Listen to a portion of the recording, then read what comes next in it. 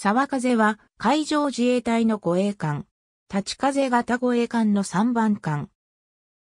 艦名は沢を吹き渡る風に由来し、この名を受け継ぐ日本の艦艇としては、旧海軍の峰風型駆逐艦2番艦、沢風に続き2代目。沢風は昭和53年度計画3800トン型護衛艦2310号艦として三菱重工業長崎造船所で1979年9月14日に寄港され、1981年6月4日に浸水、1983年3月30日に収益し、同日付で第2護衛隊軍令下に新編された第62護衛隊に立ち風と共に編入され、佐世保に配備された。1から2番艦よりやや間を置いて建造されたために、艦姿の違いが目立っている。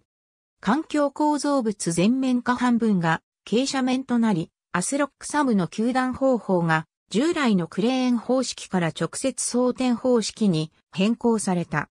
また、艦尾の MK13 単装発射機は、スタンダード SM-1 だけでなく、ハープーン SSM も発射可能なタイプが装備され、5インチ砲の射撃式装置は2型に耐水上レーダーもオプス -28 に変更された。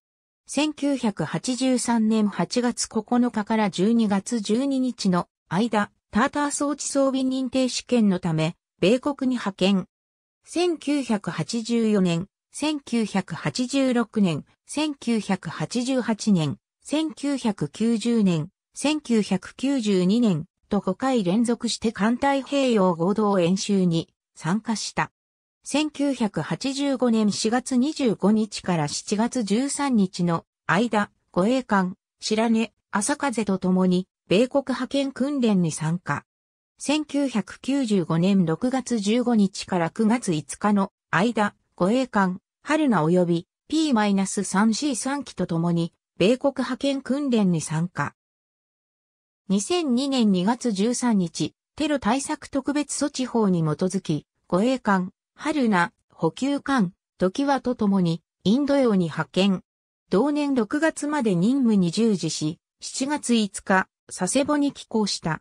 2007年3月15日、護衛艦隊直轄艦となり、低傾向が横須賀に転籍。立ち風の後を継いで、第5代護衛艦隊機関の任に就く。なお、機関となる際、特に改造はされなかった。2009年5月11日から16日まで、シンガポール海軍主催の西太平洋海軍シンポジウム多国間海上訓練に参加。